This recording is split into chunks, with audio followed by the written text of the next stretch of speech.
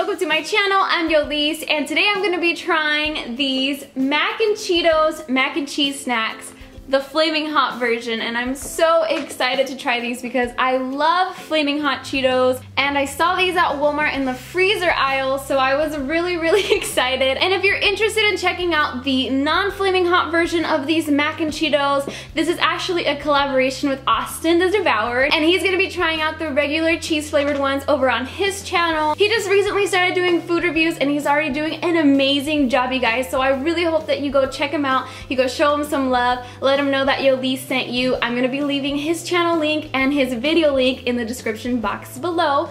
So right now I have these hot Cheetos baking in the oven and you're supposed to bake them at 450 degrees for 10 to 11 minutes and then you're gonna let them stand for one to two minutes. But calories wise, these are 240 calories and the serving size is only three, like three of the mac and Cheetos. So 240 calories for three of them.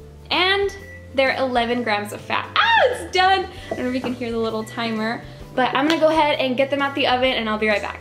All right, you guys, so I'm back and these are all baked, they're done.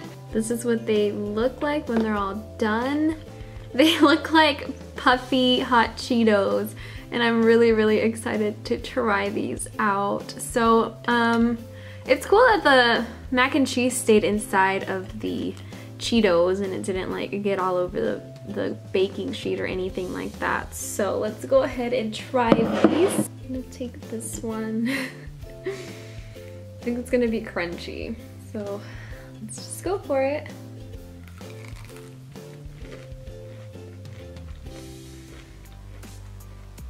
Hmm, check that out what it looks like inside. I like these. These are pretty good. And they are actually kind of spicy, which is very surprising because Flaming Hot Cheetos aren't spicy at all to me. But this is a little bit like hotter. But I don't taste the Flaming Hot Cheetos. I kind of do taste like the cheesy Cheetos though. Maybe it's the mac and cheese. But I don't I guess I don't get like the same flavor as the Flaming Hot Cheetos from these mac and Cheetos, but they're really good. The mac and cheese flavor inside of it is very, very strong, so I think they are using like a very sharp cheddar or something for the mac and cheese. Hmm. The last piece of it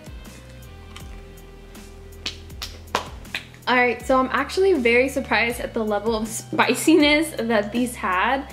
They definitely had a kick to them. And usually, like I said earlier, Flaming Hot Cheetos aren't very spicy to me just because I'm like very used to eating spicy food. But these were spicier than the Flaming Hot Cheetos. So I'm very surprised about that factor. I do like that they're pretty crunchy and then you get like the softness on the inside with the mac and cheese.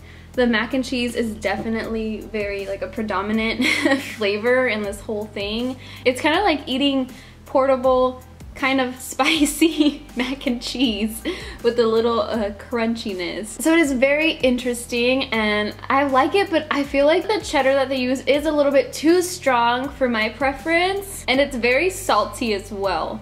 So I think I can only take a little bit of this at a time. Alright guys, so that is it for this video. I guess overall, these were an okay snack.